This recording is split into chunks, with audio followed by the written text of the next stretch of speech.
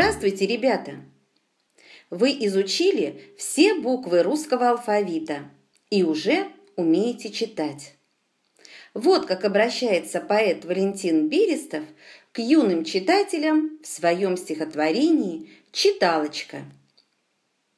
Как хорошо уметь читать! Не надо к маме приставать, не надо бабушку трясти. Прочти, пожалуйста, прочти. Не надо умолять сестрицу. Ну, прочитай еще страницу. Не надо звать, не надо ждать, а можно взять и почитать.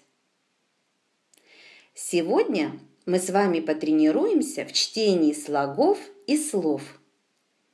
Посмотрите на таблицу. Прочитаем буквы в верхней строчке. А, О, У, И, И. Какие звуки обозначают эти буквы? Гласные или согласные? А почему эти звуки мы называем гласными? Верно, их можно пропеть. Воздух во рту не встречает преграды, проходит свободно. А еще гласные образуют слоги. Назовем звуки в столбике слева. М, Р, Т, Н. Что это за звуки? Правильно, это согласные звуки. Какие звуки мы называем согласными? Согласные звуки произносятся с голосом и шумом. Воздух во рту встречает преграду. А какие буквы не обозначают звуков? Верно, это мягкий знак и твердый знак. А теперь потренируемся в чтении слогов. Читаем столбиками. Ма, ра, та, на,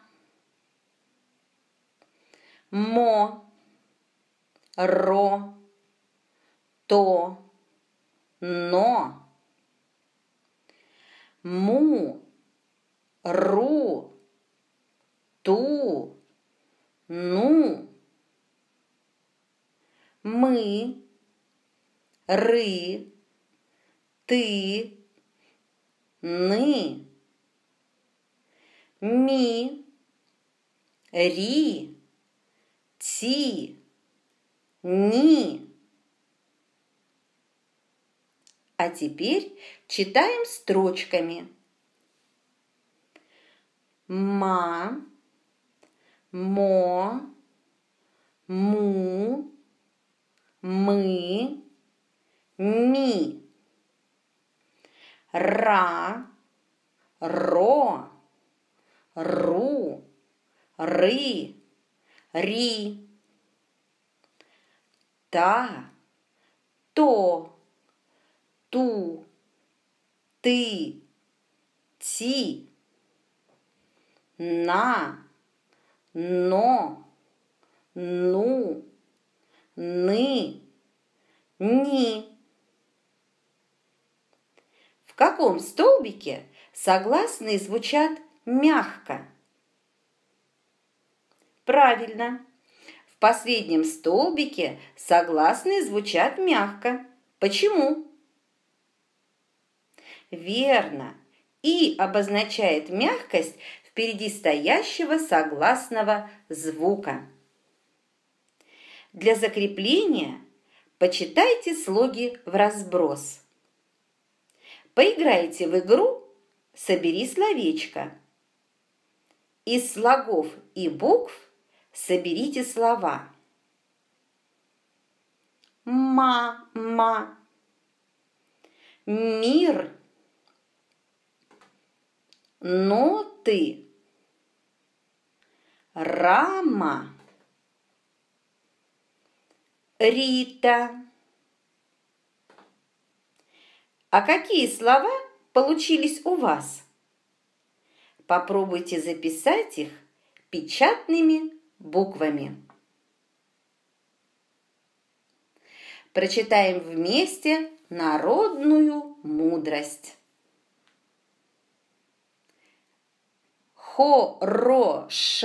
Хорошая книга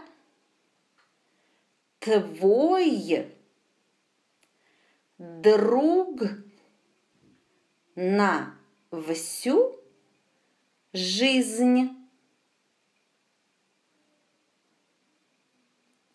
Как вы понимаете это выражение?